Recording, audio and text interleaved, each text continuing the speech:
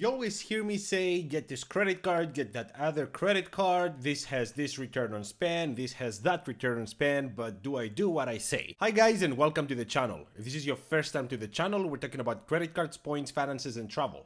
If this is something that interests you, please like this video, subscribe. If you have any questions or comments, leave them down below. I will get back to you as soon as I can. First, let me start by saying that uh, the wallet on the thumbnail is not really my wallet.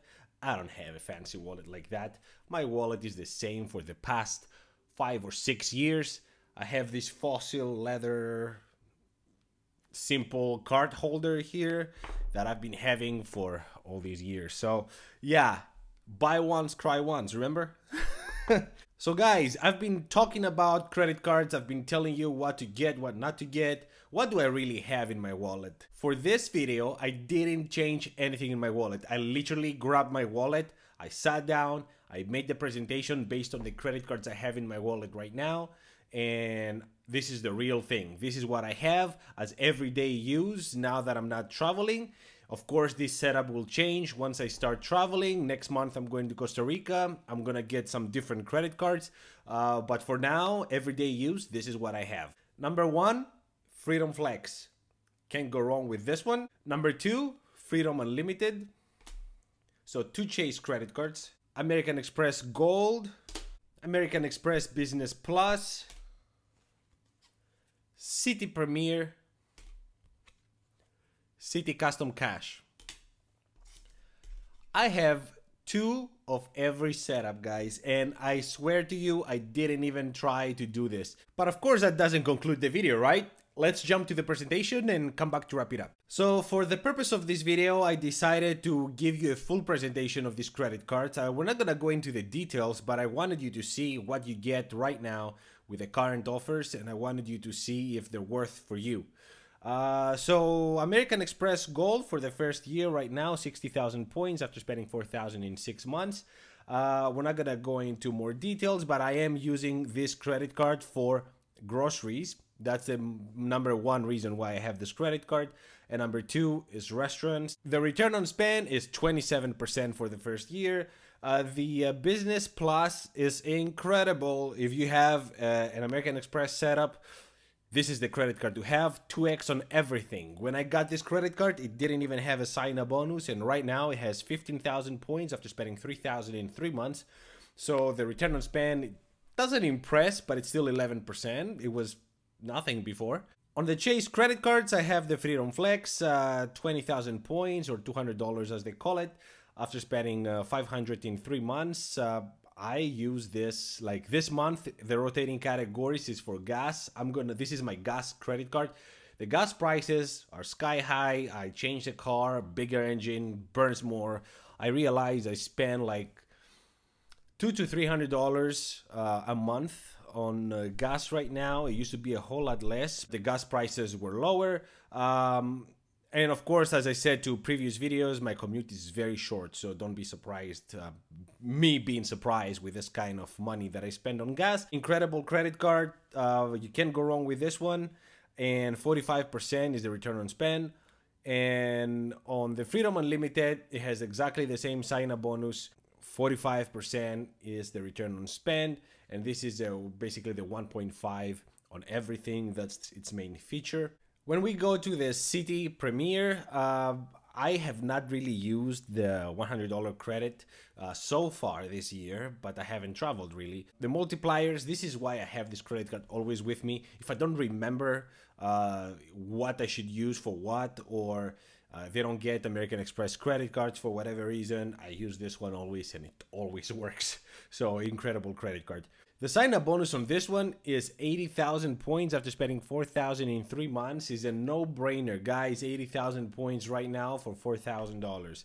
So you're going to get at least $800 cash value. Uh, the return on spend is 27% and the custom cash, I freaking love this credit card. Uh, there's no other way to put it. You're getting $200 or 20,000 points after spending $750 in the first three months. Uh, the 5x is going to the highest category that for that month. So now that my Freedom Flex has the 5x on gas, this will not be my gas card anymore. It will be something like groceries or, or restaurants. We'll see, uh, because I do use the gold for that, for groceries. But uh, yeah, 5x is more than 4x, even though for most of you, the American Express points would be more valuable. But as we know, we never stop on the first year, but on the second and every year after to see if these are keepers. And for me personally, guys, all these are keepers. I have most of these credit cards for a few years now. As always, to calculate uh, the return on spend on the second and every year after, uh, we're using the imaginary budget of $12,000 equally spread between travel, restaurants, gas, and groceries, so 3000 each. Based on that, uh, the gold has a return on spend of 6%, the business plus 3%, uh, the Freedom Flex is uh, 3.5, uh, the Freedom Unlimited is 2.8, the Citi Premier is 4.5, and the Custom Cash is 7.5. Now, don't be surprised that you see different numbers. I Citi Custom Cash, you're saying, okay, uh, it's a 5x credit card. How come you have it at 7.5 or the Premier at 4.5? Um, or even the uh, Business Plus, the American Express uh, how come it's um, at 3% and not 2% because it's a 2x? These are also points. You can transfer them, you can potentially get a whole lot more value. If I had to remove one of these credit cards from my wallet, it would probably be the Freedom Unlimited. Uh, because it's the weakest. It has 1.5 on everything. I can use the American Express uh, Business Plus to get 2% on everything. That's half a percent more. But at the same time, I do have a very good use case scenario for Chase points. Chase points, uh, first of all, are uh, equivalent to one cent per point at the very minimum if you use it as cash. And uh, the best case scenario, like my use case scenario, I use them for uh, Hyatt. So I transfer them, and these points are 1.8 cents per point. Where the American Express points in my use, in my experience, give me only 1x. I understand many of you get a whole lot more. We're not going to get there. We talked about this before, so so looking at all these credit cards next to each other, um, we're looking averages now. We're not gonna separate them. We're not gonna rank them.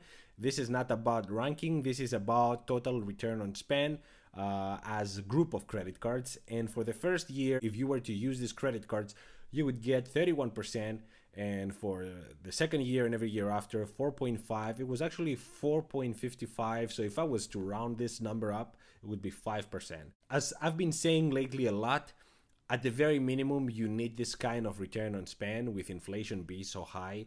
I understand that uh, in previous years this wasn't that important but i think that especially from this year and for the next year or two uh, this will be increasingly more important to be getting this kind of return on spend. It's going to help you with inflation.